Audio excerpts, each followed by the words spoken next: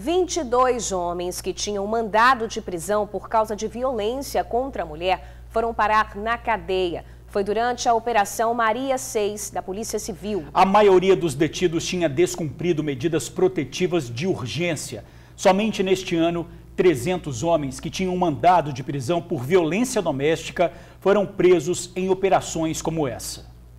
A sexta fase da Operação Marias, realizada pela Polícia Civil por meio da Divisão Especializada de Atendimento à Mulher, prendeu nesta quarta-feira 22 homens com mandado em aberto. A ação foi realizada em 11 cidades do estado. Um dos casos, inclusive, chamou a atenção da chefe da divisão.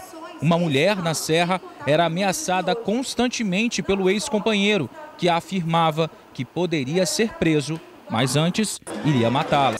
Eles possuem um filho de um ano e meio Durante todo o relacionamento, ele era extremamente violento, agressivo fisicamente, verbalmente, moralmente com esta vítima. Ela está separada dele desde agosto e as ameaças foram continuando, aumentando. No momento que ela começou a se relacionar com outra pessoa, essas ameaças pioraram porque ele falou que ele iria, assim que ele a visse com outro, outro homem, ele a mataria. A maioria das prisões foi por conta de descumprimento de medida protetiva.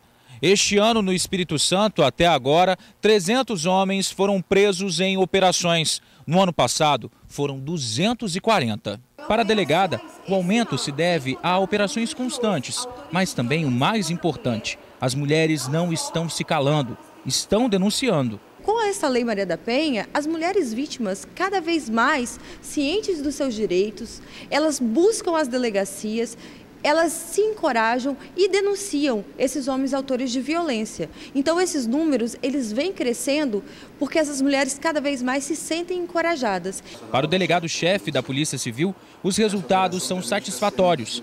Tanto que a Operação Marias já está se estendendo a outros estados brasileiros. Esse trabalho é muito importante, que é um trabalho repressivo, mas com resultados na prevenção.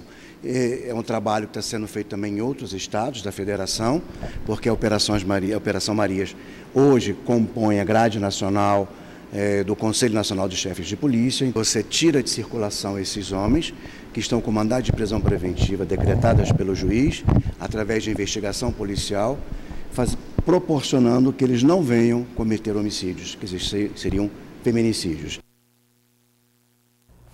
Olha, somente neste ano, mais de 1.600 homens foram presos no estado por violência contra a mulher. Eles são acusados de estupro, violência doméstica, descumprimento de medida protetiva, feminicídio, ameaça e outros crimes.